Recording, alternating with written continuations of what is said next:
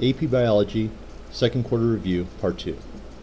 We left off with the chloroplast, and now we're going to talk about the structure of the chloroplast, and we'll go into more details when we talk about photosynthesis. Uh, the chloroplast, just like the mitochondria, has two membranes. It has an outer and inner membrane, but nothing of um, significance happens between those two membranes like it does in the mitochondria. The inner membrane also is really attached to these thylakoids too, so that's kind of part of its inner membrane. It's not really a third membrane. There's an internal fluid-filled space called the stroma, the liquidy interior of the chloroplast, and that's where the DNA, ribosomes, and enzymes are. They have little sacs, membrane sacs that look like little pancakes called, called thylakoids. That's where the light reactions are going to take place, making ATP and something else called NADPH. A stack of thylakoids is called a grana. So here we have a grana made of thylakoids. It's like a stack of pancakes. So why are we having these uh, internal sac membranes? Well, we're going to be using those to concentrate hydrogen ions, protons, in order to make ATP by chemiosmosis. Chloroplast, a function is photosynthesis. We're uh, going to be making ATP, uh, and most of that ATP is going to be used to drive the Calvin cycle to make uh, sugars. We're transforming solar energy into chemical energy, producing sugar from carbon dioxide and water. These things are also semi-autonomous, like the like the mitochondria, and can reproduce by pitching in two. Who else divides like that? Well, the answer is bacteria. Mitochondria and chloroplasts are not part of the endomembrane system. They grow and reproduce um, separate from the rest of the cell. They have some of their own proteins from their own free ribosomes, uh, from their own ribosomes, as well as some of the proteins from the cell's ribosomes. And they have their own circular chromosome, just like bacteria. It walks like a duck and clucks like a duck, probably was a duck. And if these things have the same characteristics of bacteria, well, it's, um, it's not a big stretch to say that they probably were once bacteria. And that brings us to the endosymbiotic theory. Now, don't get endosymbiosis confused with endomembrane. They both have endo in it. Endosymbiotic theory is the theory of where mitochondria and um, chloroplast came from. And this is basically uh, the endosymbiotic theory step by step. The first step is we think that the first cells were prokaryotes, and the oldest fossil records are prokaryotic fossil beds of bacteria. Then we think that the uh, infolding of that cell membrane became some of the organelles like Golgi apparatus and Rough-ER, as well as the nucleus. But we're still not making a lot of energy. We're only making 2 ATP. So at some point in the in the future, and eukaryotes did come after prokaryotes, we um, think that uh, a bacteria that was the ancestor to uh, mitochondria was engulfed and not destroyed by the cell. Now that does happen occasionally, where even in modern times, bacteria can be engulfed by cells and not be destroyed. However, um, in this case, we have a bacteria that can make lots of ATP and now is protected from the external environment. So we got a cell here that has one living thing inside, the pre-mitochondria, if you will, making lots of ATP and uh, making so much extra that the cell is going to get a bonus from that. It's going to be able to use some of that ATP. And the rest of the cell here is going to be able to engulf food particles and basically protect that little mitochondria from uh, damage. So they both benefit. You can almost call it the endomutualistic theory because this would be a form of mutualism.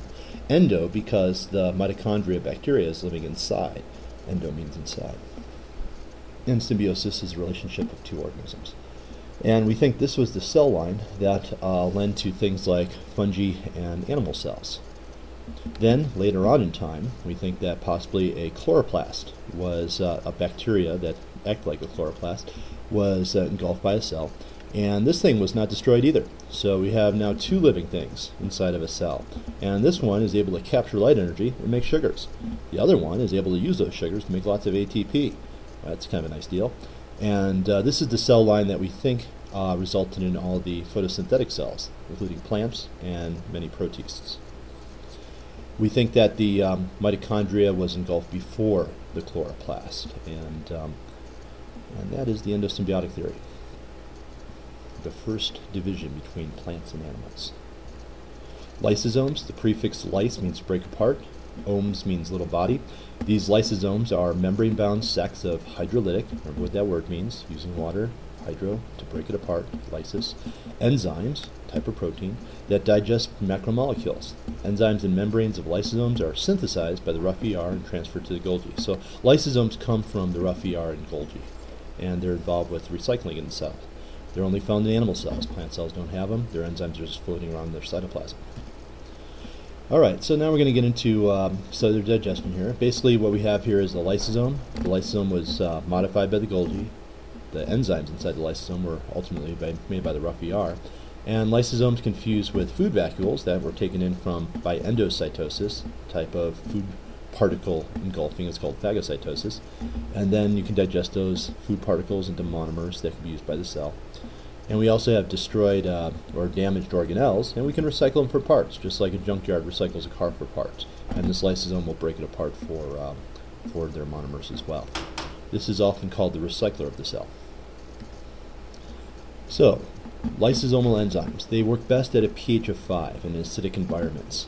So why and how does that work? Well, um, how the protein in the lysosomal membranes, we're going to pump hydrogen ions from the cytosol into the lysosome. Uh, you may know this from chemistry, but when you get extra hydrogen ions, that makes something an acid. So this thing is able to pump by active transport hydrogen ions inside to make it more acidic. Why? Well, enzymes are very sensitive to pH. They affect the tertiary structure of a protein. And the hydrolytic enzymes inside a lysosome only fold correctly in an acid environment. And they're only active in an acid environment. Why? Well, enzymes are proteins. The pH affects their structure. We just talked about that. So why evolve a digestive system, uh, a digestive enzyme that functions at a pH different from the, the rest of the cell? Well, the digestive enzymes won't function well if they leak into the cytosol. If one of those little lysosomes breaks open, it won't kill off the rest of the cell. And you know, having a a built-in mechanism basically to not destroy the cell provides a survival advantage that can be passed on to future generations. Now, the exception to this is if all the lysosomes release all their enzymes at once, that will sufficiently lower the pH of the cell to result in cell digestion. But if only one or two leaks, it's not going to be a big issue. So, what happens when things go wrong? Well, we have a uh, disease called Tay Sachs, which is a failure of the enzyme to fold in its proper shape as a result of a mutation to DNA. And uh, the lipid cells, the lipids that don't get broken down by those non-functional enzymes inside the lysosome start building up, and the brain cells start to get crowded. They disrupts their function, and if those brain cells go, then uh, you know it's not long before the rest of the body follows. Child dies by the time they're five. Now remember, this was a recessive, autosomal recessive disorder that we talked about in genetics, and autosomal means it's on a uh, non-sex chromosome. Recessive means you have to have two of the alleles in order to have the trait. The normal allele is dominant. Apoptosis. Sometimes this is supposed to work this way. Cell death is a programmed destruction of cells in multicellular organisms. It's basically cell suicide, not a destruct uh, mechanism. For example, you had skin between your fingers and toes, and those cells were destroyed by apoptosis when the lysosomes release their enzymes into the cell. So there are triggers for that uh, enzyme triggers. If the cell grows improperly, the self-destruct mechanism is triggered to uh, remove the damaged cell. You might have, you know, all of us might have had cancerous cells at some point. Uh, as we talked about in a future class, we um, about P53 uh, gene, and basically you can cause the cell to uh, self-destruct if it's cancerous, uh, and all this is done by chemistry. But this this removes cancerous cells peroxisomes, other digestive enzyme sacs in both animals and plants. Now, one of the roles of peroxisomes is to break down fatty acids and sugars. Now, you're dealing with carbons, hydrogen, and oxygens, and rearranging them into a sugar is not a big issue if you have the right metabolic pathway catalyzed by enzymes. It also involved with detoxifying the cells, one of the two organelles involved with detoxification, which includes the smooth ER.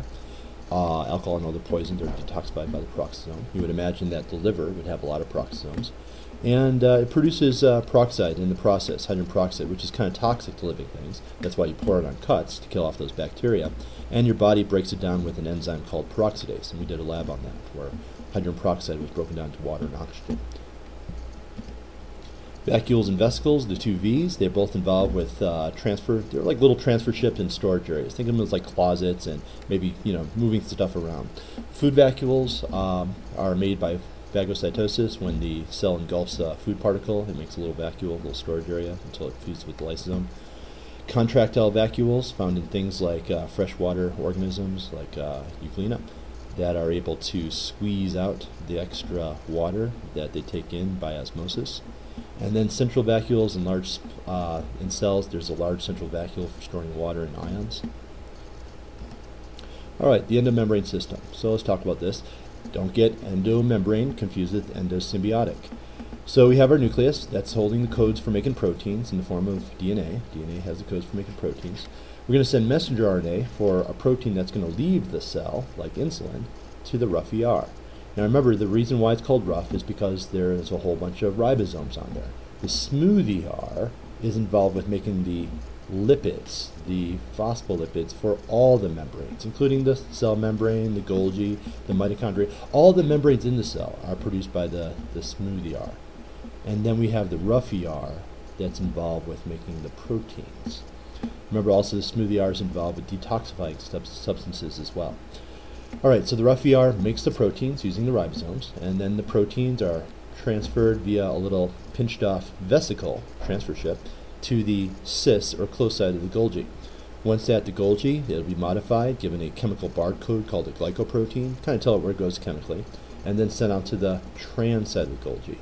Once it's in the trans side, it'll fuse with, if it's a enzyme that's, or a protein that's going to leave the cell, the vesicle will uh, fuse with the cell membrane. Remember, they kind of act like a soap bubble where they can fuse together. And then the protein that's um, that's going to be leaving the cell now enters the uh, interstitial fluid and eventually the bloodstream. So this is how insulin is made, and uh, some other things that are are going to leave the cell. Also, remember lysosomes are made by the system as well. So uh, this is also the process of making lysosomes.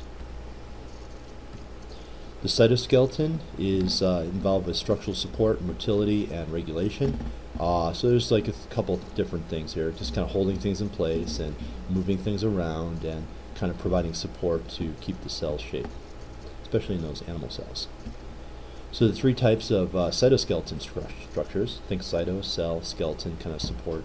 There's microtubules. A tube is thicker. Think of the tube in a uh, uh, roll of paper towels. That's going to be fairly thick. Uh, these are the thickest, and they're made of a molecule called tubulin, uh, protein called tubulin. Uh, if you remember, microtubules are used in the spindle fibers uh, during mitosis and meiosis. So that's one of the, the places where you've heard that. It's also uh, involved with uh, cilia and flagella, and uh, those are the two things that can move things around. Microfilaments are the thinnest, and um, there's two types. Uh, actin and myosin. Actin, you heard about already. There's a ring of actin that pinches the cell in two at the stage of cytokinesis after mitosis myosin and actin work together for muscle contraction inside your muscles. So you, you, can imagine you have a lot of microfilaments within your muscle cells. We'll talk about that fourth quarter. Intermediate filaments, as the name implies, is in between the two sizes. And uh, one example is keratin, and they kind of hold things in place within the cell. Cilia and flagella are very similar. They are both involved with movement. However, cilia are short and move like a little paddle like a little oar on a ship, back and forth. Flagella are longer, and uh, they have a whip-like motion. And basically, sperm is a flagella, has a flagella that moves the, sperm through the water with like a whip-like uh, motion. Cilium flagella, you should know, have a 9 plus 2 arrangement of microtubules. Uh, and we have our two microtubules here, that's the 2. And then we have nine pairs of microtubules surrounding it, and both have the same uh, structure. By the way, this has been conserved throughout time the um, you know cilia in the back of your throat have the exact same 9 plus 2 arrangement as things like bacteria uh, cilia. So there's a lot of commonalities for some of these processes, even between us and the simplest organisms on this planet. Intercellular junctions, between cell junctions. In animal cells, we have something called tight junctions that hold cell to cell, and these are like little spot welds, kind of forcing um, the two cells to kind of stick to each other. They're tiny little spot welds. We also have gap junctions. They're the only one of the three that are holes in the cells, uh, cell membranes, and these are used for communication. The holes are used to communicate using chemicals between cells to do various things. And then we have something called desmosomes. It's like a big old rivet, you know, like the rivets on your pants that hold the two cells together. It's a giant kind of strong sheet of protein holding those two cells. Remember, the cell membrane is made of two layers of lipids, phospholipids. And the phospholipid has two parts a hydrophilic phosphate head and a hydrophobic or water fearing tail made of carbon and hydrogen that doesn't have charge. Don't confuse that with the cell wall of plants. That's made of cellulose, chains of glucose molecules. All cells have a phospholipid bilayer. And this is the basic arrangement of a phospholipid bilayer. Remember that the tails, because they're hydrophobic, are repelled by the water, so they hide on the inside of this bilayer. The inside water and outside water is attracted to the phosphates. They actually self-arrange in this bilayer because of their polarity. All right, at this time, we're going to end part two, and uh, part three will start with some of the things that can move through the cell membrane.